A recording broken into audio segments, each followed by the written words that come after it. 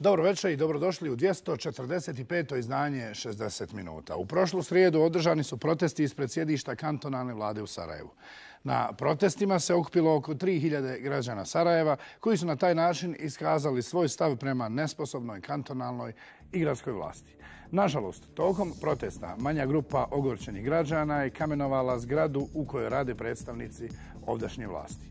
Iako se kamenovanje nije smjelo dogoditi, ne možemo da ne konstatiramo da se slični incidenti dešavaju tokom protesta u civiliziranim državama od Bosne i Hercegovine. Izljevi nasilja nekada se jednostavno ne mogu spriječiti i naša zemlja po tome nije nikakav izuzetak. Bez obzira dakle što nasilja nije smjelo biti, plaćeno saopštenje vlade kantona Sarajevo koju je slijedilo nakon protesta spada u red najsravnijih i najlicemjernijih poteza aktuelne kantonalne vlasti. U saopštenju u vezi, citiramo, režiranog nasilja ispred zgrade kantona Sarajevo, završen citat, kantonalne glavešine nagovištavaju da je za nasilje odgovorna neka tajna organizacija izvan granica BiH. U saopštenju piše, Politička pozadina ovog divljanja sada je sasvim neupitna i nadležni organi, dakle policija i tužilaštvo, će u narednim danima procesuirati sve one koji su obilježeni kao izazivači nereda, stoji u saopštenju kantonalaca.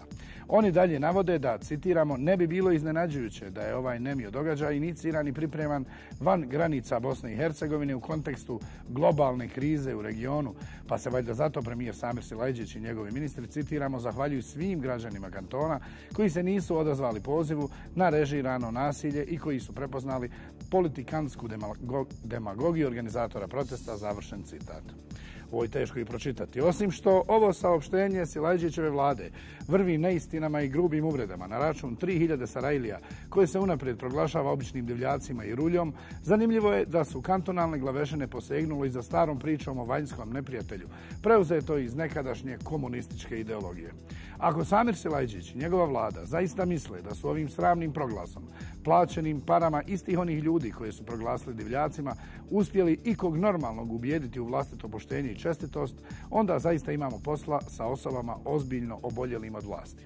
Silajđić i drugi Silajđić iz kantonalne vlade moraju znati da glavni grad Bosne i Hercegovine nije njihova privatna prćija i da stanovnici Sarajeva nisu sluge jedne nemoralne skupine ministarčića protiv kojih se ništa ne smije ni reći, a kamoli protestovati. Ukoliko je tačna informacija, a nezvanično nam je potvrđena iz više izvora, da su po nalogu Silajđićeve diktatorske vlade pripadnici MUPA kantona Sarajevo ovih dana obilazili Sarajevske srednje škole kako bi identificirali potencijalne demonstrante, onda smo zaista u ozbiljnom problemu. Vlast koja hapsi srednjoškolce radi nekoliko razbijenih prozora i svog odavno ukaljanog obraza, a pritom pravdi ne privodi okorijele ubice, i dokazane kriminalce koji se slobodno kreću ovim gradom, a nerijetko i ministarskim kabinetima i ne zaslužuje ništa drugo nego duboki prezir. I to od istih onih građana koje Samir Silajđić javno vrijeđa, nazivajući ih običnom ruljom, divljacima i kako sve ne. U večerašnjem izdanju 60 minuta objavljamo. Ekskluzivno. Darko Elez o ubistvima, nasilju i kriminalu u Istočnom Sarajevu. Godina dana BH vlasti dno dna. Kako je Rejsul Ulema Mustafa Efendija Cerić ponovo zloupotrijebio svoju funkciju za dnevno političke svrhe i smanjenje stope nezaposlenosti svojih kadrova? Zašto Dragan Čović nikad nije odgovarao za kriminal u Eronetu? Kriminal u preduzeću Srpske šume. Milion maraka za čišćenje snijega u šumama širom Republike Srpske. Za 60 minuta govore Darko Elez, Bakir Izetbegović, Mirnes Sajanović. U naredni petak u Beogradu počinje suđenje Tuzlaku ili Jurišiću. Jurišić je već devet mjeseci nevina žrtva nesposobne BH vlasti i politički zatočenik srbijanskog režima. Avdo Avdić. Prozivamo. On je glavni krivac što će ili Jurišiću u petak početi suđenje na okružnom sudu u Beogradu. Da, on je glavni krivac što Ilija Jurišić već deveti mjesec truhne u okružnom zatvoru u Beogradu. Upravo on, Jurčević Marinko, glavni tužitelj Bosne i Hercegovine, glavni je krivac što je po nalogu srbijanskog pravosuđa sredinom prošle godine hapšen čovjek koji u maju 92. godine nije bio ni blizu Brčanskoj Malti. Jer tužilaštvo Bosne i Hercegovine i srbijanskom pravosuđu još 12. februara 2007. godine proslijedilo podatke iz CIPSA za naših šest državljana. Brkić Mohamed Sin Ferder, rođen 28. oktobra 1967. godine u Tuzli, nastanjen planova broj 47, sve se slaže. A, a pravi Brkić Muhamed, ovaj, on je sin Čamila, rođen 20, mislim, ovo nije, dva, mislim 29 godina ranije da je rođen, nastanjen u Tuzli, znači, totalno pogrešno. Ali zbog ove greške Marinka Jurčevića, odnosno tužitelja Mirsada Striki, jedan od šestorice potpuno nevinih tuzlanskih Muhameda Brkića, prošle godine nije išao ni na godišnji odmor. Čak su mi savjetovali da se ne krećem nigdje van, malte ne van kantona, znači, ovaj, da nisu sigurni da li će svako, ovaj, kad, kad mene, ako bi me legitimisao, da li će, da li će svako, da li će me negdje privesti. A da je kojim slučajem Brkić Ferida Muhamed prešao granicu sa Srbijom, čekala bi ga sudbina Ilije Jurišića, čije podatke iz CIPSA tužilaštvo Bosne i Hercegovine proslijedilo srbijanskom pravosuđu i kojeg tužilaštvo za ratne zločine Srbije tereti za navodne ratne zločine u predmetu Tuzlanska kolona. Tužilaštvo Bosne i Hercegovine je, je, je po meni najodgovornije zbog zašto Ilija sad sjedi u, u zatvoru što suda u Beogradu. Jer taj predmet, Brčanska Malta ili Tuzlanska kolona, to tužilaštvo je imalo u svojim rukama 2004. godine. Znali su da se istražne radnje protiv nekolicine ljudi u Tuzli zbog tog incidenta Brčanska Malta vode u Beogradu. Znali su godinu i nešto prije nego što će Ilija biti uopšen. Oni ništa nisu preduzeli, iako im je taj predmet iz Aga vraćan, dakle, mjesna nadležnost je utvrđena. A šta vrijedi mjesna nadležnost, kad tužilaštvo Bosne i Hercegovine nije otvorilo nikakvu istragu u vezi sa zbivanjima na Brčanskoj Malti? U stvari, naredba o provođenju istrage donesena je 14. maja 2007. godine, ili preciznije rečeno, tri dana nakon što je na Beogradskom aerodromu uhapšen Ilija Jurišić. Što znači da je ta njegova naredba iznuđena. On je to držao negdje u fiokama, da je on pokrenuo istragu, pa saslušavao sve ili Jurišića i tako dalje, vjerovatno ne bi bio ostavljen prazan prostor pravosudnim institucijama Srbije. Dakle, svi naredni potezi bili su uzaludni. Ilija Jurišić je već tada bio osuđen na proces pred Beogradskim pravosuđem, ali nije morao biti osuđen i na apsolutno ignoriranje od strane državnih organa Bosne i Hercegovine. Ono što je porazno, to je činjenica, od institucija kojima smo se obratili državnih, niko nije reagovao. Nijedan odgovor nismo dobili koji je bio u smislu konkretnog rješavanja e, stanja ili Jurišića. Istina, bilo je sporadičnog djelovanja. Tako je recimo tačno 100 dana nakon hapšenja Ilije Jurišića u Beograd otputovao ministar pravde Bosne i Hercegovine Bariša Čolak, koji je čak izrazio zadovoljstvo time što mu je srbijanski kolega Dušan Petrović kazao da uhapšeni Tuzlak ostaje u pritvoru u Beogradu ne mogu biti najzadovoljniji takvim stavom. Međutim, e, zadovoljan sam stavom e, kad je ministar i njegovi suradnici rekli da će sve učiniti zapravo da se taj postupak što je moguće prije, prije okonča. Čolak, međutim, nikad nije izrazio nezadovoljstvo što srbijanski ministar nije ispoštovao dogovor sa ovog sastanka i što je optužnica protiv Idrišića podignuta bukvalno posljednjeg dana njegovog šestomjesečnog pritvora, nakon čega su se stvorili uvjeti za dodatno zadržavanje Ilije Jurišića u okružnom zatvoru u Beogradu a tamo mu je napisao je ministar za ljudska prava Bosne i Hercegovine, Safet Halilović, baš ugodno. Ovdje u ovom pismu mi praktično imamo odgovor da mi ne trebamo ništa raditi, da ili Jurišiću predivno u Beogradu, da je dobro da ostane tamo. Praktično ministar ponižava sve nas, vrijeđa dostojanstvo svih građana. Treba razumjeti ministra Halilovića. Neinformisani, od deminirskih obaveza nije stigao zatražiti ni izvještaj Komisije za ljudska prava državnog parlamenta, koja je na 200. dan pritvora Ilije Jurišića posjetila Beograd. Gospodin Halilović nije dakle, tražio nikakvu informaciju od, od komisije. Zato Ahmetović predlaže. I gospodin Halilović treba dakle, otići u Beograd gospodina Jurišića i vjerujem da bi e, prilikom susreta dakle, vidio da gospodin Jurišić treba pomoć države Bosne i Hercegovine. No sudeći prema dosadašnjem odnosu, Iliju bi Jurišića mnogo prije mogao posjetiti Vitomir Popović, poznati kao Vito Corleone. On je naime općinskoj komisiji za ljudska prava nedavno ponudio svoje ombudsmenske usluge. Eto, činjenica, i to je paradoks Bosne i Hercegovine. Od svih koji su trebali da se uključe, koji su dužni i obavezni da se uključe zaštitu ljudskih prava ili Jurišića, javio se ombudsman Bosne i Hercegovine koji nije na teritoriji federacije. Može se reći uslovno eh, i da nije toliko u njegovoj nadležnosti koliko je nadležnosti drugih. Dakle, gospodin Popović je taj koji je primio delegaciju opštinskog vijeća jedini. Stoji Jurišić, međutim, niko, sem lokalnih tuzlanskih vlasti, do danas nije primio. Istina, ona se tom prijemu ne nada još od jula, kada je shvatila da je njen muž... Žrtva što kaže naših političara koji ne žele ili neće, ne znam, ili ne, neće, ja mislim da to nama su ovdje isto u novinama su proštali da to može ministarstvo pravde da riješi. Međutim, to se baš možda njih ne dotiče. Ne dotiče se njih ni bolest ili ina. Vodili su ga na BMA, jedan put su ga vodili tamo da pregleda oči, pa su ga rekli da će ga zvati valjda operisat, ali nisu ga zvali. Jednom je vadio šećer, bila je 12,5. E sad mi nosimo lijekove kako dobija, da li da je... Bolest je umeđu vremenu uznapredovala. Ilija Jurišić se osjeća gore nego u julu. A u petak mu u Beogradu počinje suđenje koje će trajati najmanje godinu i tokom kojeg će BH državljanin, prepušten samome sebi, dokazivati da nije kriv za ubijstvo ljudi koji su još živi.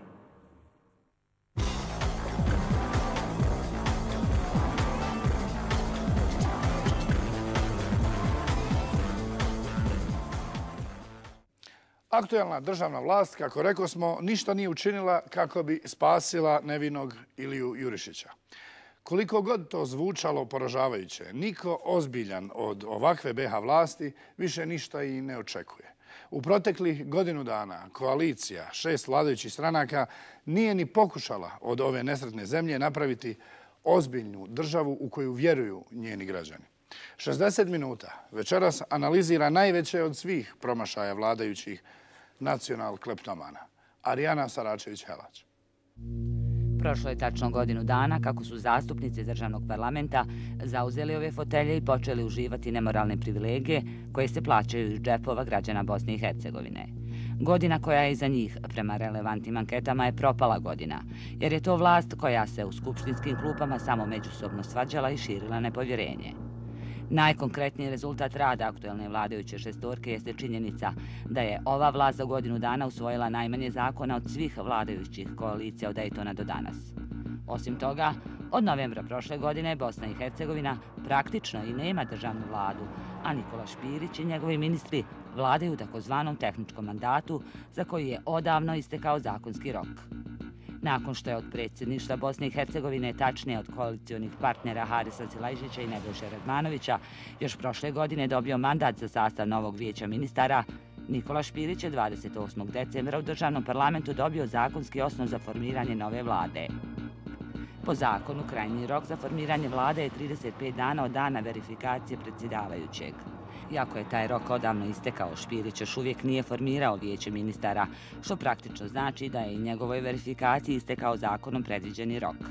Valjda i zbog ove činjenice takozvani mandatar za predsjedavajuće vijeća ministara Nikola Špirić situaciju u Bosni i Hercegovini ocjenjuje kao šizofrenu. Iako je i sam zaslužan za takvo stanje, Špirić u posljednjih godinu dana nije rekao ništa pametnije. Zastupnik u predstavničkom domu Parlamentarne skupštine Bosne i Hercegovine, SDA-ovac Sadik Ahmetović, jedan je od rijetkih parlamentaraca koji javno priznaje da je ovo najgora i najbezobraznija vlast od Daytona do danas. U zadnjih godinu i pol dana država Bosne i Hercegovina nije napravila ni jedan korak napred, dakle, po e, onome što vide i politički analitičari i svi dobronamireni ljudi u Bosni i Hercegovini, jeste da su svi procesi u Bosni i Hercegovini i njen e, napredak ka Evropskoj uniji, dakle, e, zaustavljeni. Podsjećamo na sporazum o principima koalicije koji su nakon izbora potpisali lideri vladajuće šestorke. Prema tom sporazumu predstavnici vlasti su se obavezali da će omogućiti nesmetano funkcioniranje državnih institucija. Od toga, osim brojnih afera i svakodnevnih medijskih prepucavanja, ništa nije ostvareno. Lideri šest vladajućih stranaka svoje obaveze su tumačili na potpuno različite načine, usled čega su konstantno izbijale krize vlasti i njena potpuna nefunkcionalnost. Ova vlast mjesecima nije u stanju čak ni usvojiti državni budžet, a da u usvajanju ozbiljnih zakona koji su u skladu sa lažno proklamovanim evropskim principima vladajuće šestorke i da govorimo. Evo imamo budžet Bosne i Hercegovine gdje se na jedan eklatantan način ispoljava potpuna jedna neiskrenost vladajućih struktura. Jutro ste mogli čuti jeli, od poslanika SNSD-a da žele da usvoje rezoluciju o pristupanju NATO pakta, s druge strane žele da im je budžet Bosne i Hercegovine što manji, što je očigledno nespojivo jedno s drugim, ali to je ogledalo u kakvoj državi živimo i kakvu vlast imamo. SDS-ovac Momčilo Novaković prema internoj statistici jedan je od najaktivnijih zastupnika na sjednicama parlamenta. Za naš magazin ističe da je ovaj parlament od samog početka u krizi u kojoj parlamentarna većina čini sve kako bi vlastite birače godinu i po dana nakon izbora i dalje zastršivala. Ovdje u institucijama e, da već postoje jedna nervoza zbog toga što zaista e, ni na čemu pozicija ne može da nađe zajednički jezik i sve mi se više čini da e, i na najbezazlenijim stvarima kao što je sastav komisija imao problema kamoli u ozbiljnim zakonskim projektima. Zaista trebali bi se zavrenuti svi, posebno kažem ljudi iz parlamentarne većine, šta je sa principima koje su potpisali i na kojima su bazirali ovu vlast. Jedini put kada je napravljen prividni kompromis između vladajuće šestorke u parlamentu jeste onaj s kraja novembra prošle godine, kada je visoki predstavnik Miroslav Lajčak, koristeći bonske ovlasti, presjekao trakavicu oko izmene poslovnika u radu parlamenta Bosne i Hercegovine. Lideri vladajuće koalicije prethodno su uzaludno sastančili u čak osam navrata, potrošivši punih pet sedmica, tokom kojih su državu doveli u situaciju potpune političke nestabilnosti, što je Lajčak u Bristolu opisao kao situaciju koja je zbog ponašanja političara političara potpuno izmakla kontroli. Po povratku iz Brisela, Lajčak je vladajuće lidere okupio na 100-minutnom sastanku i natjerao ih na kompromis. Sve te uslove su zadovoljene. Meni je drago da je to, ta, taj poslovnik usvojen snagama legitimno izabranih predstavnika. Siguran sam da će reakcija e, Evropske unije biti biti veoma pozitivna. Podsjećamo, tada je Lajček namjerno dopustio nepreciznu formulaciju vlastite odluke, kako bi pregovarači iz RS-a svojim biračima ostavili dojam da su nešto uradili, jer je suština potpisane odluke bila sprečavanje novih blokada rada parlamenta. A te blokade zajednički su u skladu sa dogovorenom koalicijom i partnerstvom priželjkivali i Milorad Dodik i Haris Silajđić. Slično se upravo ovih dana događa i sa reformom policije, koja je prema prvobitnim rokovima trebala biti okončena prije tačno tri godine i dva mjeseca. Podsjećamo, tada je odbačen takozvani Martensov plan.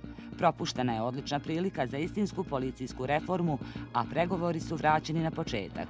Od tada do danas održano je bezbroj sastanaka od Neuma preko Vlašića, Hutovog blata, Mrakovice pa sve do posljednjeg u širokom brijegu bez ikakvog ozbiljnog učinka. Upravo je u širokom brijegu trebao biti zadan posljednji udarac namjeri da se provede ozbiljna policijska reforma na državnom nivou u skladu sa tri evropska principa. Na sreću po državu Bosnu i Hercegovinu lider SDA Sulejman Tihić nije pristao na ovaj Dodik Selajđićev diktat, ali su na njega nažalost pristali Miroslav Lajček i lideri oba HDZ-a. Od tada je počelo sramno lobiranje zvaničnika OHR-a među zastupnicima SDA u državnom parlamentu, od kojih se zahtijeva da ne poštuju odluku predsjednika te stranke, već iznuđena rješenja Milorada Dodika i Harisa Silajđića. U međuvremenu je i vijeće ministara Bosne i Hercegovine bez glasova bošnjačkih ministara usvojilo nepotpunu reformu policije koja ne garantira ništa drugo nego ostanak MUPA Republike Srpske, na čemu insistiraju političari iz ovog BH entiteta. Iako je usvojen bez bošnjačkih glasova u vijeću ministara, ovu odluku vijeća ministara iznenađujeću su podržali OHR i Američka ambasada u Bosni i Hercegovini, a o njemu će se glasati u državnom parlamentu za dva dana. Podsjećamo da se zakon može izglasati i bez zastupnika SDA, a umeđu vremenu je kolegija ove stranke donio odluku da se odbija ponuđena reforma. Očigledno je da se u čitavoj priči žuri i strancima i Dodiku i liderima oba HDZ-a, bez obzira na katastrofalna rješenja u vezi sa policijskom reformom budući da njegov amandman u kojem se tražilo da policijska reforma prati buduću ustavnu reformu Bosni i Hercegovini nije usvojen u vijeću ministara, postavlja se pitanje kako će glasati Selajđićevi zastupnici i delegati u oba doma državnog parlamenta. Mi ćemo napraviti dogovor, sigurno, kod ovoga izglasavanja ovih zakona mi ćemo tu naći zajedničko rješenje i donijet ćemo te zakone. Mislim da, da, da tu vladajuća šest, šestorka će naći to rješenje. A koje zakone mislite? Na ove zakone kad je u pitanju reforma policije. Ubijeđeni ste da ćete naći rješenje? Naćemo rješenje kad je u pitanju o, o, o, ovaj problem. Koliko SDA ne pristane, ne promijeni nešto? SDA će prihvat to, ja sam ubijeđen u to. Što jeste neš, našli nekog novog Mehmeda Žilića u redovima SDA? Ne, ne, nije u pitanju Mehmed Žilić, mislim da, da će klub stranke, e, e, klub SDA to, to, to prihvati i mi ćemo naći to zajedničko rješenje. To, u to sam ubijeđen. Za razliku od drugih stranaka, stranka demokratske akcije funkcioniše kroz svoje institucije i strav institucija stranke demokratske akcije je da ovo nije dobra reforma policije za Bosnu i Hercegovinu i mi ćemo i dalje ostati pri svom stavu. Na kraju krajeva će Bosna i Hercegovina ući u Evropsku uniju. Neće ostati jedno, jedno ostrvo ovaj, izdvojeno iz Evropske unije. A na nama je da budemo čvrsti i da na tom putu probamo što više toga popraviti u njoj. Doznajemo da će SDA na narednoj sjednici državnog parlamenta uložiti amadmane na predloženi zakon kako bi se priča o reformi policije barem pokušala vratiti na ona tri evropska principa koje više ne pominje ni Dodik, ni Selajđić, ali ni Lajčak. Jasno je da je policijska reforma jedan od preduvjeta za potpisivanje sporazuma o stabilizaciji i pridruživanju. Međutim, ovdje se postavlja pitanje da li katastrofalna antidržavna rješenja treba podržati kako bi Miroslav Lajčak svojim šefovima u Briselu ponudio kakav takav rezultat svog preplaćenog rada. Ipak vjerujemo da se Lajčakove želje neće ispuniti i da sramni prijedlog zakona o policijskoj reformi ipak neće dobiti podršku u parlamentu. I dok ništa konkretno ne radi, državu vode u propast zastupnici u poslanici institucija Bosne i Hercegovine, uskoro će sebi ponovo povećati plaće i tople obroke, zašto je nacrt zakona već napravljen. Sarajevsko oslobođenje prije dva dana objavilo šokantnu informaciju prema kojoj su državne institucije oslobođene obaveze plaćanja PDV od 17%. I dok građani Bosne i Hercegovine i opozicija u ovoj zemlji očajnički traže da se za osnovne prehrambene artikle i lijekove uvede nulta stopa PDV-a, a vlast to uporno i bezobrazno ignorira, u restoranu zgrade zajedničkih institucija u Sarajevu smo se uvjerili da na računima pod stavkom PDV stoji 0%. Dakle, sve što se ovdje pojede i popije po i onako mizernim cijenama, oslobođena je poreza na dodanu vrijednost. I dok građani zbog PDV-a kafuju u najskromnijim ugostiteljskim objektima plaćaju marku i po, državni zastupnici i delegati za isti užitak su do prije nekoliko dana izdvajali 30 feninga. Danas je kafa skuplja i košta pola marke, ali se zato za pet maraka može kvalitetno ručati, a obrok uključuje juhu, glavno jelo, salatu i dezert. Ovi podaci najbolje opisuju bezobzirnost aktuelne državne vlasti koja o sebi očigledno zna voditi računa. Zašto su državne institucije oslobođene PDV-a? Državne institucije su oslobođene iz, eh, od PDV-a prema stavu 6, član 12 zakona o PDV-u. Državne institucije koje su osnovane u skladu sa zakonom, a s cijenjom obavljanja poslova iz djelokruga uprave organa su oslobođene obaveze PDV-a. Jedini pravi izlaz iz ovog jeste prijevremeni vanredni izbori koji bi se trebali održati zajedno sa opštinskim izborima kad ćemo konačno, nadam se, doći do normalne vlasti koja se nešto moće dogovoriti. Jedan od trojice čelnika državnog parlamenta, Nikola Zančić iz HDZ-a Bosne i Hercegovine, smatra da je Bosna i Hercegovina svoju šansu propustila na usvajanjem takozvanog paketa ustavnih promjena iz aprila 2006. Posjećamo, aprilski paket su srušili stranka za Bosnu i Hercegovinu, odmetnici iz HDZ-a i Mirko Blagojević, Šešeljev radikal. Nažalost, to pokazuje da bez obzira kakav sastav bio vladajuće većine, ovaj, da je nemoguće osigurati efikasan e, način funkcioniranja u ovakvom ustavnom uređenju. I dokle god postoje, bude postojalo ovakvo ustavno uređenje u Bosni i Hercegovini, ovaj, mi ćemo biti stalno u jednom stanju krize. Pa ne znam jeste li čuli ocjene evo, međunarodnih predstavnika pa i visokog predstavnika da je naša stranka zaista bila konstruktivna i oko reforme policije. Evo smo sad ponudili okvir za proces oko ustava, znači nismo samo čekali, nego smo nudili rješenja i pokušavamo dakle, ne pobjeći i od vlastite odgovornosti. Čija vam je ocjena bitnija, međunarodne zajednice ili građana? Pa vidite, e, svi mi koji pretendiramo biti odgovorni političari moramo poći od toga da ćemo sutra ponovo stati pred građanima. Od visokih predstavnika Evropske unije stižu najave da će Bosna i Hercegovina biti posljednja država u regionu koja će ući u euroatlantske integracije. Valjda i pticama na grani konačno jasno da bosansko-hercegovački političari upravo to i žele, kako bi dalje mogli uživati u vlastitom kriminalu i korupciji. I naravno, hraniti se u najjeftinijem restoranu na svijetu u kojem ne važi stopa PDV-a od 17%.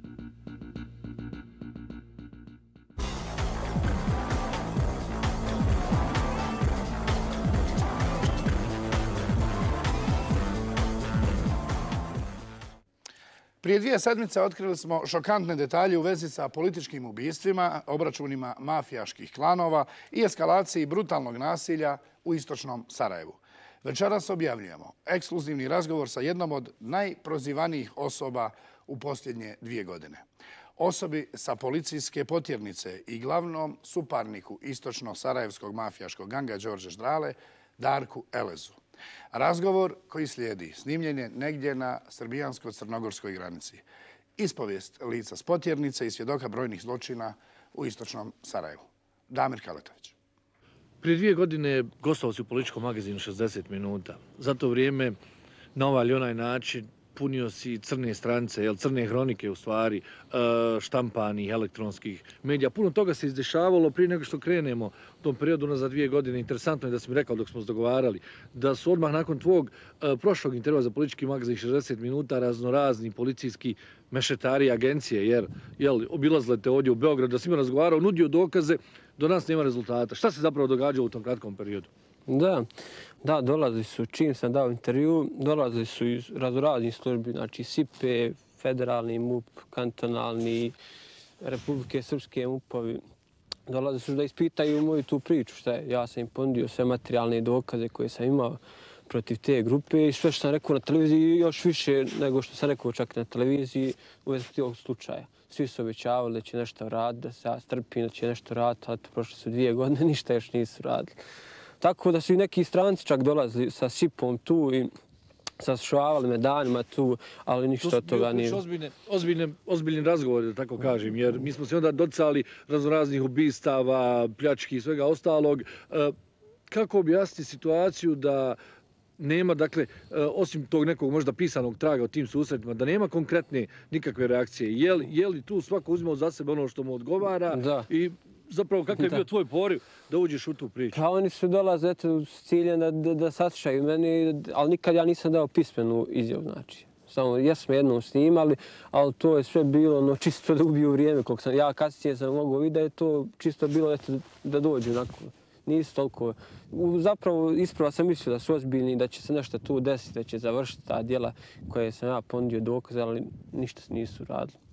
Jednostavno, naj, na kak, posle sve te naše priče, ja sam tu svjedočio sam i ja, i Anđelko Eljančić, Pandureć, Vladimir, ali onaj, oni su sve što smo mi svjedočili za ta dijela optužili kasnije mog drugog Anđelka kad je uhapšen dole. Onaj, i čak su... uhapšen e, nek, nekako pred prošle godine u Višegradu. Da. U Višegradu kasnije uh, uh, kasnije je došao pod pasku jel, tu štestva i policije Republike Srpske. On je jedan od ljudi koji je uh, uz tebe bio. Jel? Yes, Interesantno yes. je da, da ste imali određene ponde iz državnog tuštestva. Tako se otprilike ti rekao. Šta je konkretno bilo i koliko oni danas zapravo traže od Anđelka Veljančića, koliko mu daju pa novca ništa. govori? Sve što smo mi davali, znači izjave vezano za tu grupu koja ta čini krivična dijela ubijstva po Sarajevu, oni su kasnije kad su priveli Anđelka Veljančića na slušanje, isti taj tužilac koji koji je nama dolazio u Beograd, nudio mu pare i nudio mu slobodu da optuži mene za sva ta ubistva koja su nerešena. Govorimo o državnom tužiteljstvu. O državnom tužiteljstvu, znači sa, sa Božom Mihajlovićem na čelu. Kako da objasniti da, da su iz početka, ja znam, jer politički magazin 60 minuta je dakle ustupio i materijal, dao je uh, glavnom tužitelju sve to. Kako objasniti da onda nisu pristajali nikakve dogovore s tobom i sa, sa Veljančićem u to vrijeme, jeli, u smislu da vam daju zaštitu identiteta ili da vas, da vas isplate novčano, da. a onda nakon, nakon hapšenja Veljančića pojavljuje se i novac i da. status, status svjedoka saradnika. Jeli? Pa to nisu raz zato što mi to nismo tijeli. Nama nikakve mi smo najsvjedočili kao obični građani. Mi nismo tražili nikakvu zaštitu, ni pare, ni ništa. Znači, mi smo jednostavno svjedočili kao obični građani. I čak su nam u jednom momentu kad su nas saslušavali, rekli sve što smo rekli, nismo ništa ni dodali, ni slagali, čak potvrđujemo neke već što imaju dokaz, već potvrđujemo na, s našom pričom. Oko određenih Da, i rekli smo da imaju, da imaju, da, da, da, znači, dvostruko ubistvo na, na, ovome, na, na Palama Todorović i trostruko ubistvo u, u, dole na vracima, znači, to smo govorili imaju čvrste dokaze za to. Pa za Mauzera su isto govorili da je ta Bijeljni je ta ekipa da su radili, onda, ali nismo mi oko toga puno nekih znali informacija. Mi smo znali za najviše što se dešava u Istočnom Sarajevu. Odnosno ono što je pod kontrolom. Da. I mi smo davali te izjave, stvarno, realno nismo šta lagali ni petljali i sami smo rekli da nismo ništa slagali, što smo rekli da i već po, s našom pričom to podkrepljujemo, to oni već što imaju. Znači, da bi posle svega toga, kad je Anđelko uhapšen dole, da bi ga zovemo, isti taj tužalac rekao, ajde, da ćemo ti mi biti svjedok saradnik da optužiš Dar Keleza i te njegovu ekipu. Kako moju ekipu, nije mi jasno. Nije nikako tajna da si ti imao i direktne i izravne kontakte sa načelnikom Centra javne bezbjednosti Zoranom Mandićem nakon što je e, došao na tu poziciju. Pa jesam, čuo sam se, jesam, čuo sam se ja s njim par puta, ali ni čisto normalno. Ja sam tog čovjeka imao toliko povjerenja zato što sam ga znao otprije kroz priča i znao sam ga lično imao sam povjerenje da će taj čovjek nešto raditi, ali to je sramota što on radi. Stvarno sramota, znači on od kada je došao gora je situacija deset puta nego što je bila. Kako znači, to objašnjavaš? Je li uh, Mandić ne smije, je li se udružio s određenim uh, licima? A nije... Uh, ili, ili, ili je to jednostavno danas slika čitave Republike Srpske i Bosne To je čitava slika Republike Srpske, sigurno. Čitava. On sprovodi sad tu sliku, nastavio, znači ništa nije uradio samo sad petlja, laže, on riješi ovo, riješi ono, evo, nemamo nijednu pravosnažnu presudu na tolika ubistva. A uvijek desi se nešto treći dan sa uštenje, on je riješio. Šta je riješio? Nije mi jasno šta je riješio. Samo laže, narod petlja, znači neka ga je stid stran.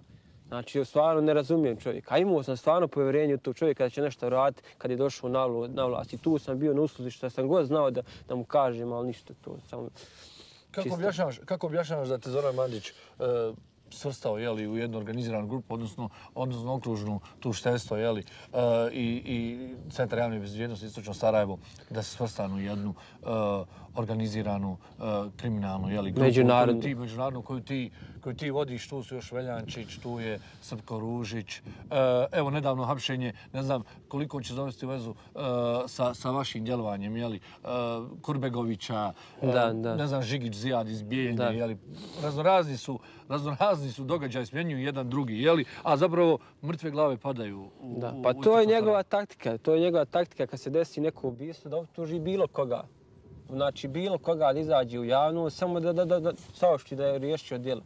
Evo ja ću to demantva, znači čisto znači i nudim tužilaštu, znači nudim. Ako nađu jedan materijalni dokaz da sam se sastavio sa tim, kako se zove Kurbegović, kako se preziva već, i taj Srpko Ružić i taj, da sam se našao zadnjih tri godine s njima, ja ću potpisati 40 godina robije. Našao. Jesam se sa Srpkom Ružićom čuo, znači, u ove tri godine, možda četiri puta, isto čisto prijateljsti kako ti je poroca, kako ono, ali da smo se nalazili, da neku grupu činim, to je sramota, ne ga je stid, ne ga je stid. Taj će čovjek biti sigurno oslobođen. Taj čovjek mora biti pustan za 5-10 dana. Šta će onda? Šta će onda dokazati? Šta? Sad je veću atmosferu, goru atmosferu napravio nego što je bila.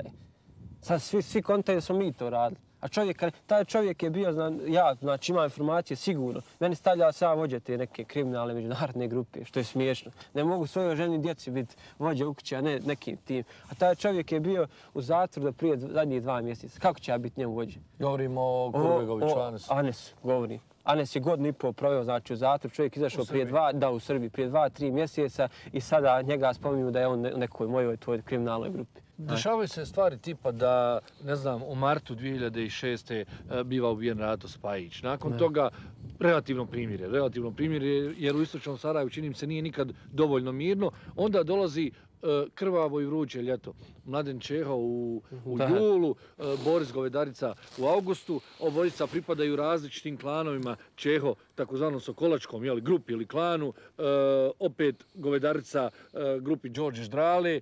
Ti kao neka treća isturena, isturena grupa, odnosno grupa oko Darka, Darka da, Eleza. Da.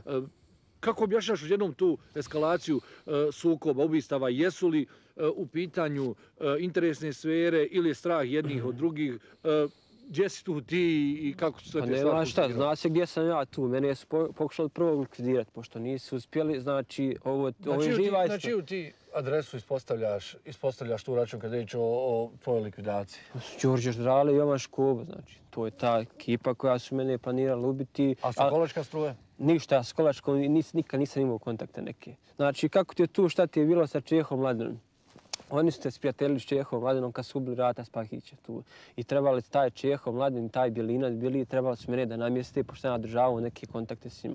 Pošto nisu uspjeli da me namjeste, preko raznih grupa po Srbiji, smo svi dojavljivali, onda su, šta će drugo da uradi, nego su Koliko je koštalo?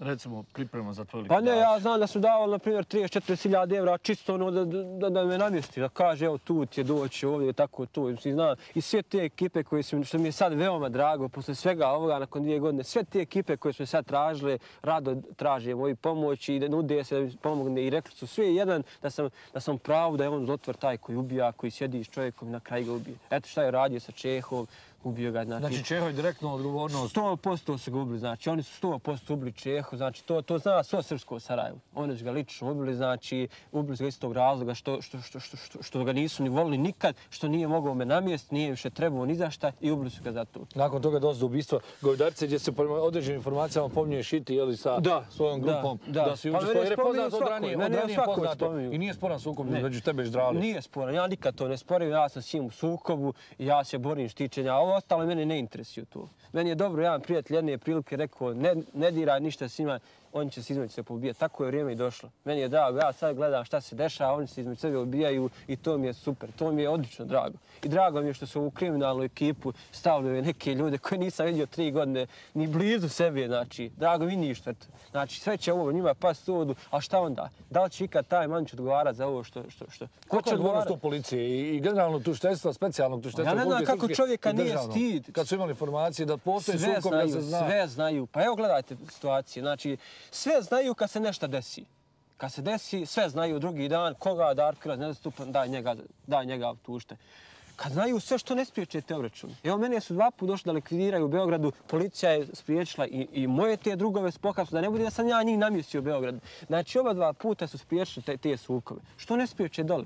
Kad sve znaju poznato mi je, ostaćemo na trenutak oko tih sukoba u Beogradu, poznato mi je da, da i tvoja i tvoja, i tvoja grupa da, i Iždralna pala, da. tako reći pala, jel, yes. navodni smo u Beogradu. Da. Je li to bio neki dogovoren sukob ili su bile nije, informacije? Nije, valjda, nije. Ono, kao da se nađete na, na, na, na Poljani i obračun kod Evo, korala. Evo kako je bilo, ja nikad u životu nisam lagao i nema potreba. Ja sam bio taj dan na putu, još nisam bio u Srbiji. Meni su zvali da su viđen tu, da su im negdje brata zaganjali da bili. Ja sam vas u auto i išao da vidim šta je. Znači ja tu sam tako. Događa, da da iskren da budem, ja sam se isto pripremio za taj obračun. To u momenta kad sam ja dotlje, nisam imao ni pištolja, ni puške, ništa uza se, razumijete? Znači, čim sam čuo to, sjeo sam auto, riješio, i riješio sam, znači, i jeste li došli, uru, idemo. Sreća pa je ta policija koju se zahvaljujem, koja je sve to pratila pomno, koja je i, i pofutala moju tu ekipu, tu neku ekipu, kakva ekipa. Razumijete, ja sam nazvao, na primjer, donesite mi to i bježite od mene, razumijete? Jel mi što je došao, šta da mi ubio, brata? Šta misli? A kako, gdje, gdje treba biti obračun? Jesi imao ti neke informacije ne, posredne, ne, neposredne, ja, ili je to bilo ganjanje po Beogradu? Ne, ja sam imao informacije oni u Beogradu i da tu kruže i što nisam, ja sam, nisam sam bio van Srbije. Ja sam krenuo i rekao kad dođem pa ćemo biti, tražit ćemo se, ganjat ćemo se na kraj kreva. I policija je to stvarno pratila i upratila, ja im čestitam na to mi svaka im čas. Jer, zato vam kažem, kako ovdje dva puta su došli da me likvidiraju, ovdje dva puta se priječila policija. A kad sve mani zna dole i njegov centar, taj javni zbjednosti, što nisu priječili sad, što ovo dešava zadnjih godina dana? Kako sve objašnjavaš, kako objašnjavaš uh, ovo, ovo ubijstvo na palama uh, Vlatka Mačara i još dvije nedužne osobe? Da. Uh, I to je po nekoj definiciji Mačar je pripadao žralnoj grupi, da, dakle da, tvoj protivnik, da, opet da, i to bi se moglo dovesti s tobom, pogotovo nakon, nakon ovog hapšenja Kurbegovića. Da. Kako se ti nosiš tim optužbama i koliko te ima zapravo u svim ovim stvarima? Nigdje mene nema tu, ja znači to demantio čvrsto. Ja sam isti dan zvao pripadnike SIPE, znači javio sam se, rekao ja sam raspolaganje ko šta treba što tiče toga, ja sam čisto sudanik, me interesuje. Taj vlad ko mene vača nikad nije ni interesuo. Meni, ja sam sa Đorđetom žalim u, u, problemu i nikad me taj čovjek nije interesuo. Ako je god to radio, ja bi iskreno volio da se odmah nađe u tubice, se kazni na najstrožnije kazne do 40 godina. Znači, to je katastrofa šta je uradio, stvarno. Ako su već planirali da tako nešto uradi, trebalo smo odvući pred kuću to auto, pa nekom tamo ispašta čita poraca, nego tamo ti neki nevini ljudi. Poslednji mjeseci velika enigma u čitavoj ovoj priči e, oko svih klanova, svih sukoba, jeli, a uistinu ima dosta, dosta, dosta ljudi tamo, jeste uh, Slavša Bilinac, zvani Bili. Uh, jedni kaže da je u Francuskoj, drugi kaže da je nestao. Ti si mi rekao prije što smo razgovarali da imaš određena svoja saznanja. Jednostavno je to više, ne zna se ni za kog, gdje je, šta je, koga nema, e, prikazuje se ovako ili predstavlja se ovako ili onako. Pa ništa, zato momka se zna, znači, taj momak je ubijen, evo ja ovim putem ću izraziti saučeš njegove porodice, ako do sad niko nije, ako, ako svi petle i lažu, njihov je sin ubijen, znači, to treba i ljudi da znaju i to ubijen je na dan sahrane. Kad je Boris Kozarci sahrana bila, zna se koji ga je čovjek dovuko, pred kuću ostavio ga, ostavio je tom čovjeku telefon i pištol svoj, rekao sad će ja i nikad, znači čovjek je ubio 100% i sahranjen je negde gore onaj, na, na Trebeviću, po svom selu gore i to je to. Šta ne zna se gdje? Pa ne zna se, ne, ne može, ali informacija da je on ubijen sigurno. I to, to je njegova porodica, znači trebaš je konačno da zna da nešto prezum. I šta sad radi? Šalju svoje drugove od Bjelinca, roditelj vam redi, meni se javio, ne skirajte ništa, nema ako gdje ko zvao na telefon, nemojte govoriti da nije u redu, sve samo da se stiša situacija, čovjek je 100% mrtav. To su prilično ozbiljne kvalifikacije ovako. Ozbiljne, neozbiljne, mislim, ja pričam, mislim što jest i nema potrebe da laga, lažim. A sve šta je to uzrok ti ubistava? Na primjer, ubijen je Čeha. On je zovo, zovnuo taj isti načelnik, ovoga, Bjelinc, ja, Manić, zovnuo i rekao, ovo, ovo je radio Đoka. I normalno možda je osvete neke, ali nema, ima to neke veze, 40 dana, taj dan bilo i ovaj bio, znači ima to neke. Onda ovaj, šta je, možda je, ne kažem ja, ne mogu ja griješ duš, možda je on nešto organizuo, pa ko ubi Borisa Govedaricu, što mu razumno neke svoje prijatelje, pomozite pa da razumijete. Na kraju kad je ubijen ovaj, onda je rekao Đoki, joj nema bijelinca, krije se negdje, možda je on.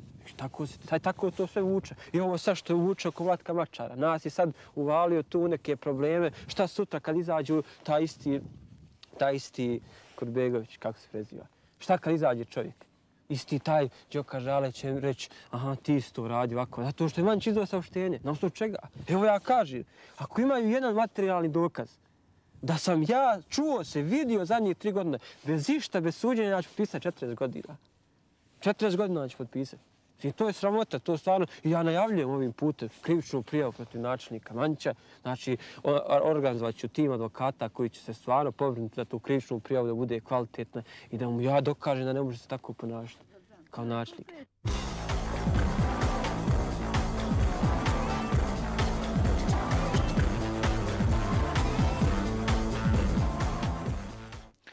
Nakon što smo prije 14 dana objavili priču o tome kako islamska zajednica BiH na svaki mogući način pokušava uvesti vjeronauku u vrtiće kako bi brutalnom segregacijom djece na budžetske jasle udomili svoje prekobrojne nezaposlene kadrove, Rejsul Ulema Mustafa Efendija Cerić po medijima ne prestaje optuživati, citiramo, kumunjere iz SDP-a i novinarske nevjernike za navodnu anti-islamsku kampanju. E sad, budući da mi znamo da Rejs Cerić nije jedina veza ovdašnjih muslimana sa Bogom. Za ovo izdanje 60 minuta naš kolega Avdo Avdić je pripremio kratku priču o djeci i vjerskoj poduci, ali samo na osnovu konkretnih dokaza i konkretnih činjenica. Znamo da ćemo nakon ovoga ponovo postati meta napada i bijesa lidera islamske zajednice BiH. Ali ovo činimo samo zbog toga kako bi još jednom dokazali da je Rejs Cerić sve manje vjerski lider, a sve više politički demagog. Kur'an je knjiga jasna, pa je tako jasan i 256. ajet sure El Bekare, u kojoj svevišnji kaže La ikrahe fit din, ili nema prisili u vjeru. No, neki očito ne shvataju ovu kuransku poruku, pa tako u svakoj sferi bosansko-hercegovačkog društva, kojeg čine i kršćani, i jevreji, i ateisti, žele nametnuti islamske propise, ali i propise koji baš i nemaju utemeljenje u Kur'anu i Hadisu.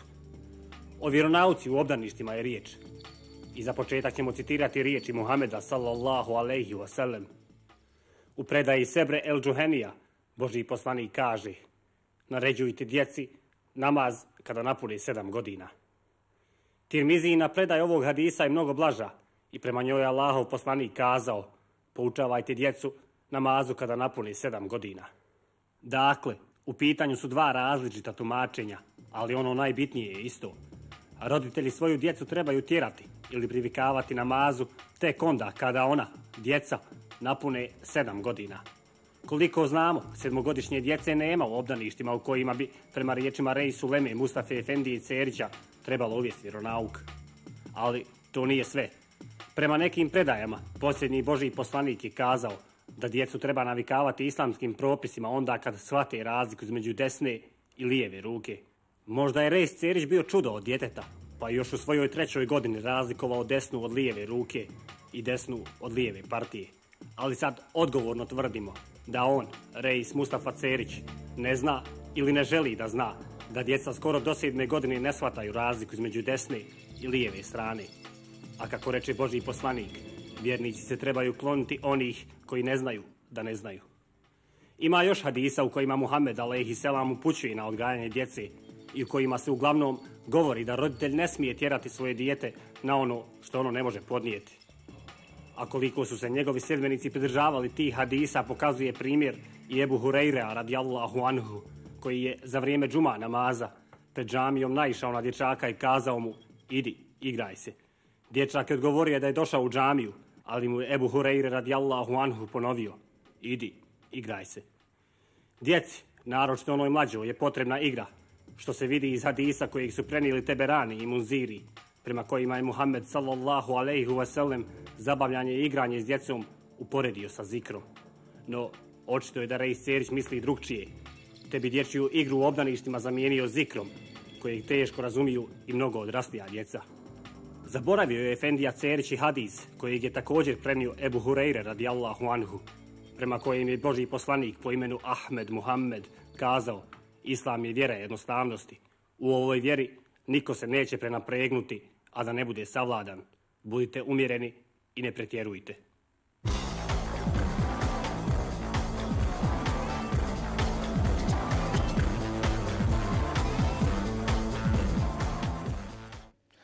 Godinama smo u 60 minuta raskrinkavali i dokazivali brutalni kriminal lidera HDZ-a BiH Dragana Čovića i njegovih najbližih saradnika. Neki Čovićevi kriminalni poduhvati, poput sramnog pokušaja preuzimanja Eroneta, spriječeni su zahvaljujući ovom magazinu. Iako je i kantonalni sud u Mostaru u parničnom postupku dokazao Čovićev kriminal u slučaju Eronet, do danas ovaj lažni europejac nije krivično odgovarao za svoja nedjela. Umjesto ozbiljnog suočavanja sa pravdom, Čović danas glumi poželjnog partnera OHR-a.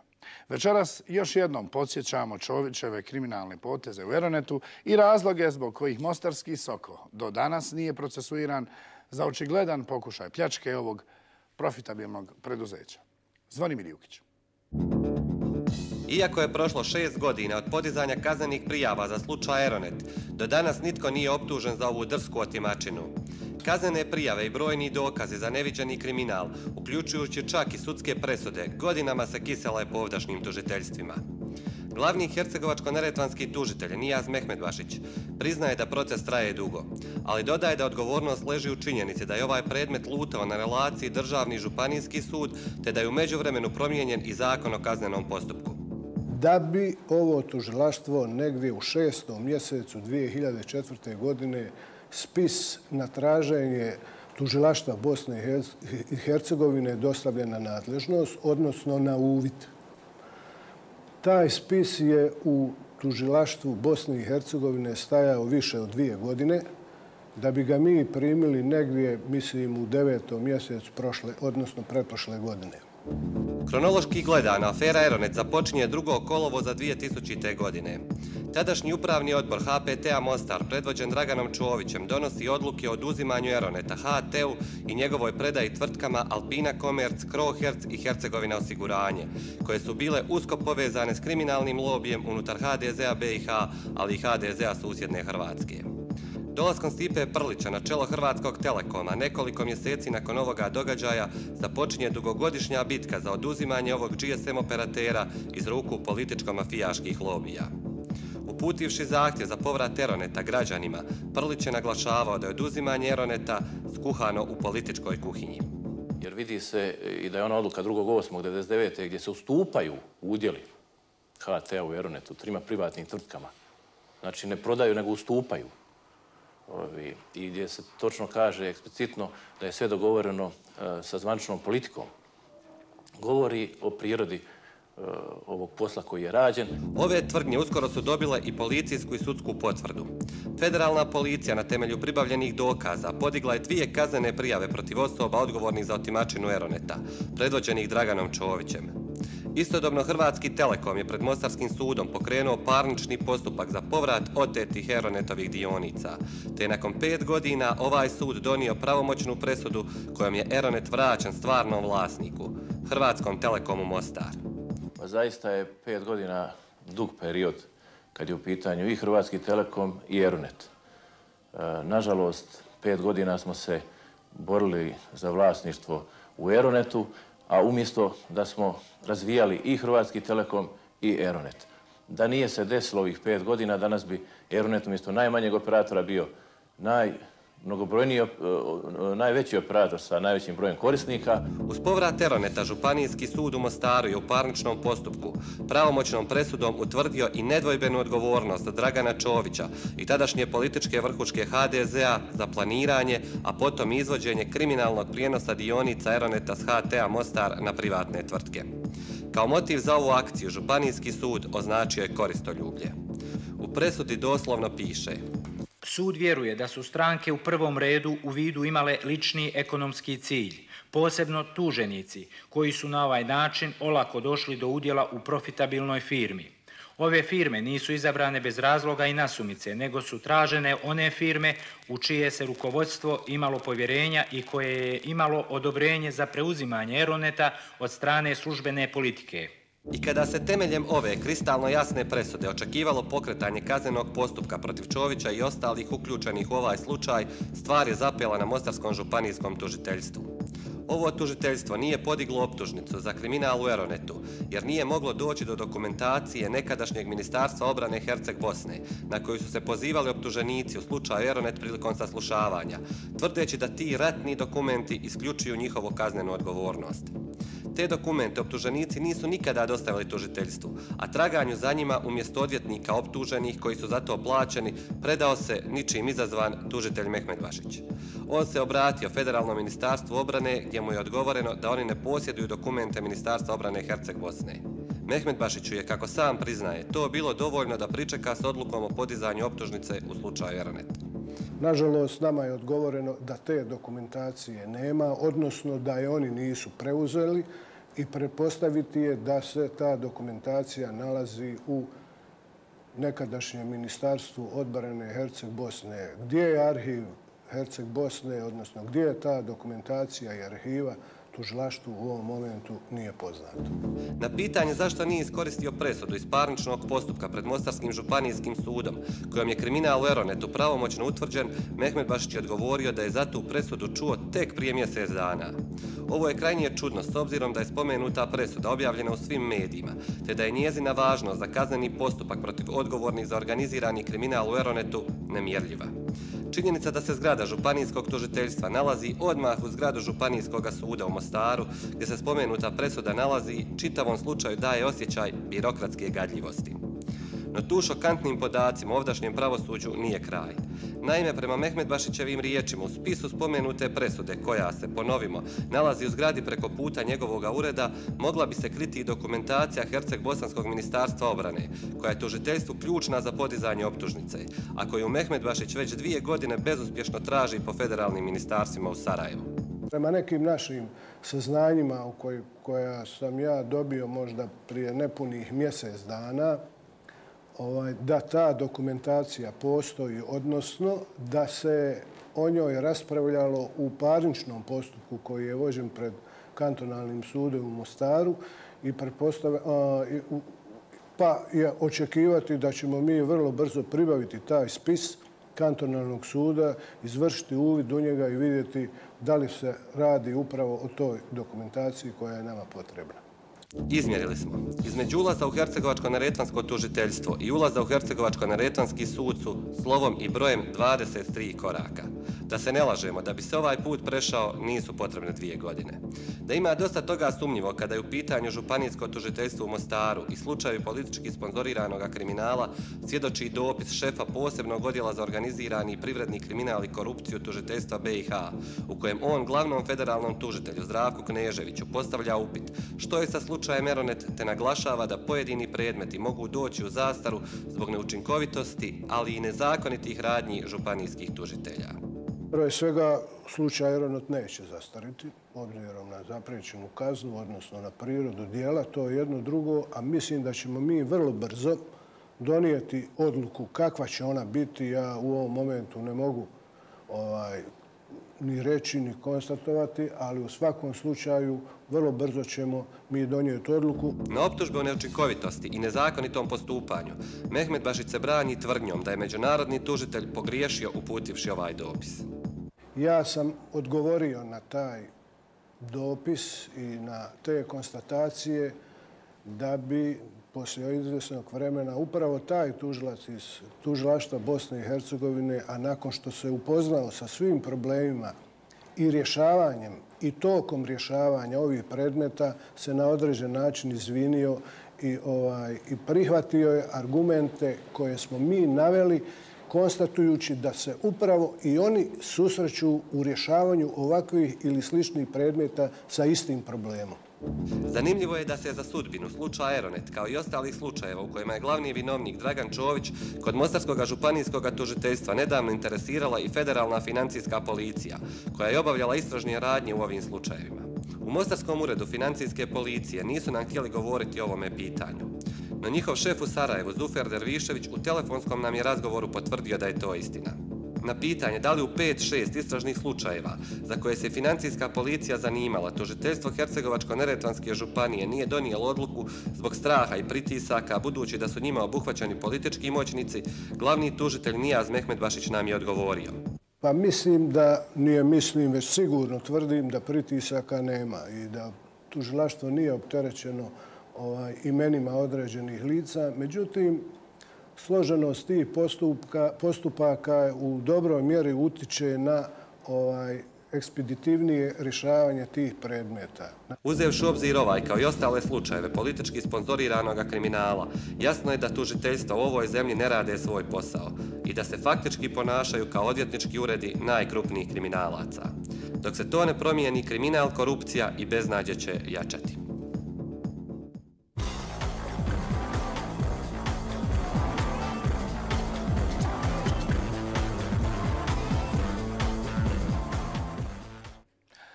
Za razliku od Čovićevog, lako dokazivog kriminala u Eronetu koji nikada nije procesuiran, na sudu Bosne i Hercegovine nedavno je počelo suđenje za kriminal u preduzeću Srpske šume u vrijeme kada je premijer Republike Srpske bio Mladen Ivanić. U ovom magazinu smo se još prije četiri godine u više navrata bavili Ivanićevom i ulogom njegovih bliskih saradnika u aferi Srpske šume. I red je da sudu BiH prepustimo donošenje konačne odluke. Ali da sa Ivanićem ne počinju i ne prestaju nezakonitosti u drvnoj industriji, dokazuje i naša naredna priča. U narednim minutama prezentiramo više milijonske pronevjere aktuelnog menadžmenta srpskih šuma izvedene u direktnoj saradnji sa vladom Republike Srpske. Ko zna, možda će i ovi dokazi ovdašnjim tužiteljstvima biti zanimljivi za nekih 3-4 godine. Slobodan Vasković. Pljačkanje građana Republike Srpske nije uzetak, već pravilo. Gramzivi lasodržci otimaju na struji, vodi, nafti, visokoakciznim robama, gradskom građevinskom zemljištu, kriminalnim privatizacijama i još kriminalnim javnim radovima. Neki od njih ne libe se ni da fizički uklone one koji im smetaju u njihovim prljavim poslovima, o čemu najbolje svjedoči surovu ubistvo Milana Vukalića. Potvrđuju to i dešavanja u javnom preduzeću Šume Srpske, čiji menadžment djeluje po principu i mi gangstere za sječu imamo a šumski hajduci su tokom protekle godine iz ovog preduzeća isisali između 45 i 50 miliona maraka. Najveća šteta ovoj firmi učinjena izbjegavanjem licitacije trupaca već se radi na osnovu naprijed dogovorenih kvota i cijena. To se dešava na osnovu vladine odluke koja je u potpunoj suprotnosti sa zakonom o javnim nabavkama. Stručnjaci iz ove oblasti tvrde da se zbog ovakvog načina poslovanja godišnje gubi 15 do 20% sredstava, odnosno između 25 i 30 miliona maraka. To je samo prva stavka više milijonske otimačine koja se nastavlja deklasiranjem trupaca, odnosno njihovim pocijenjivanjem. Jednostavnije rečeno, trupci prve klase prikazuju se kao trupci druge klase, a razlika odlazi u privatne džepove. Ova kriminalna pojava u šumama Srpske je sve prisutna, a najlakše je dokaziva na primjeru furnirskih trupaca koji su najkvalitetnija pa samim tim i najskuplja roba. U šumarskoj praksi i prema sortimentnim tablicama utvrđeno je da u ukupnoj posječenoj drvnoj masi furnirskih trupaca treba biti najmanje 4%. Isto potvrđuju dvogodišnja istraživanja Šumarskog fakulteta u Sarajevu završena 1980. godine u kojima su učestvovali svi eminentni stručnjaci te institucije. Izvedbenim planovima je također predviđeno da furnirska građa kod četinara iznosi 4%, a bitno je naglasi da je zakonska obaveza izdvajanja furnirskog drveta iz prve klase trupaca. Međutim, državni zakoni u ovom entitetu ne važe, već samo kriminalna pravila koja mafijašima omogućavaju brzo i laku zaradu. Potvrđuju to i podaci iz izvještaja o izvršenju proizvodno-finansijskog plana za prvih šest mjeseci prošle godine. Iz ovog dokumenta je jasno da u ovdašnjim šumama Maltene i nema furnirskog drveta, što je potpuna neistina. Suštinski menadžment na čelu sa direktorom Neđom Milićem je dozvolio deklasiranje trupaca i furnirsko drvo je u papirima u najboljem slučaju postalo trupac prve klase. Razlika u cijeni je 100 maraka po kubiku, jer furnirski trupac košta oko 190, dok onaj prve klase iznosi oko 90 maraka. Kako se u ovom entitetu godišnje proizvede oko 700.000 metara kubnih četinara, furnirskih trupaca trebalo bi biti najmanje 28.000 kubika. Međutim, njih je prema knjigama odsečeno samo 5.000 kubika, što znači da je deklasirano 23.000 kubika. Lako je izračunati da je samo po ovom osnovu ukradeno najmanje 2 miliona i 300.000 maraka.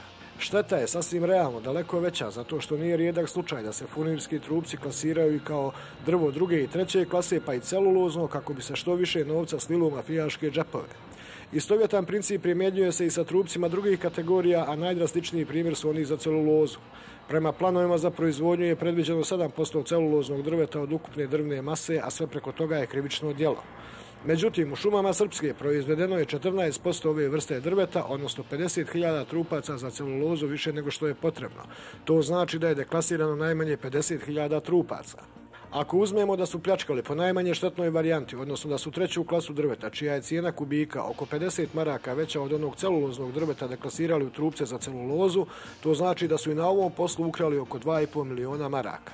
Sve ovo je sitnica kako se pljačka novac koji treba ulagati u razvoj šuma, odnosno za šumsko uzgojne radove. Prema zakonu, kada se trupac proizvede, 10% njegove vrijednosti mora se uložiti u razvoj šuma. Prihod za prvu polovinu 2007. godine od sječe iznosio oko 77 miliona, što znači da je u šume trebalo uložiti gotovo 8 miliona. Iz dokumenta je jasno da je investirano svega 20% od te sume, odnosno oko 1,8 miliona, pa je lako izračunati da je 6 miliona ukradeno od uzgoja šume. Pitanje je gdje je otišao taj novac, ali samo iz ove stavke je jasno da šume srpske nisu pozitivno poslovale sa 3 miliona u plusu, kako tvrde, već je njihov saldo negativan za najmanje toliko novca. Kako po statutu šuma srpske direktor uprava i direktori radnih jedinica moraju biti smijenjeni ako je poslovanje negativno, lako je zaključiti zašto su rezultati falsifikovani. Ovaj način pljačke nije nikakva novina ovog rukovodstva jer su to radili i raniji direktori, tako da je prema riječima stručnjaka od novca predviđenog za uzgoj u proteklim godinama opljačkano čitavih 35 miliona maraka. Namjeravali smo da na sve ove navode svoj komentar da aktuelni direktor šuma Srpske Neđo Ilić, ali nam je njegova sekretarica rekla da on zbog brojnih obaveza nema vremena za razgovor sa ekipom 60 minuta. Treba istaći da Neđo Ilić, direktor šuma Srpske, nije od juče u kriminalnim poslovima. On je u periodu od 1999. pa do 2002. godine prema nalazima revizora opljačkao milion maraka zloupotrebljavajući jedno austrijsko osiguranje. To mu je valjda bila najbolja preporuka kod Milorada Dodika da ga postavi na sadašnje mjesto. Na tom mjestu Julić se pokazao kao vrlo kvalitetan i kreativan bandit, što najbolje potvrđuje plan nabavki za 2008. godinu. Taj dokument u stvari otkriva brižljivo planiranje više milijonske pljačke šuma Srpske. Tako je ove godine za investicije predviđeno 53 miliona, dok je za prošlu godinu u planu bilo 28 miliona maraka.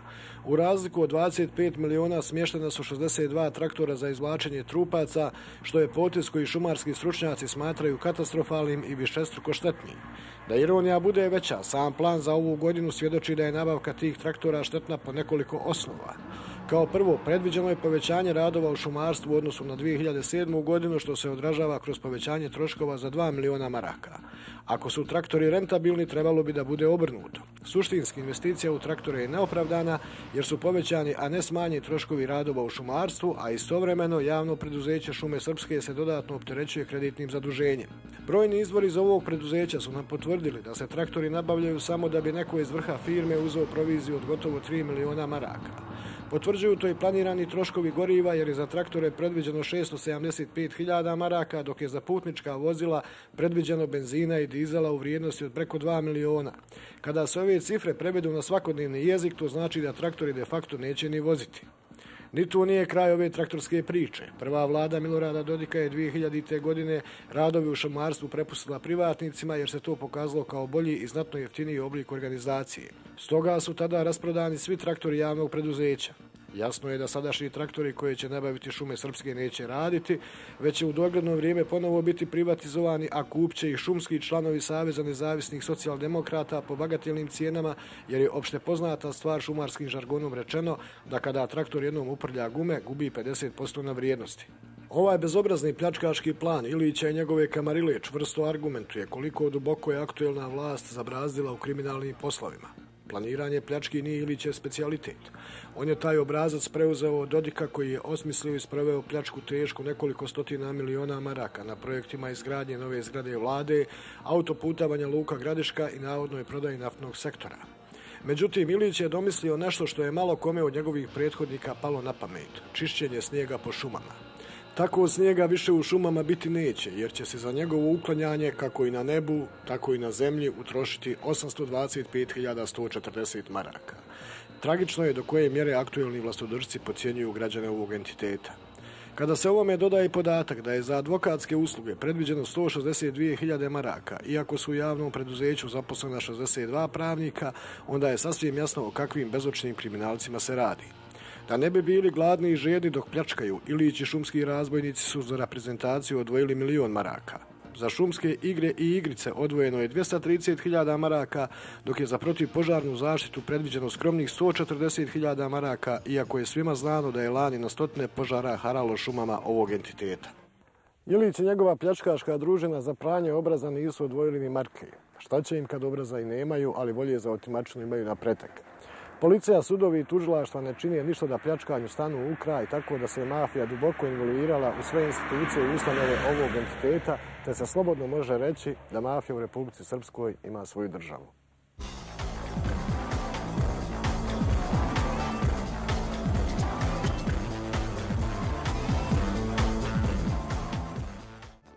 Bilo je to sve za večeras. Vidimo se narednog ponedjeljka. Doviđenja.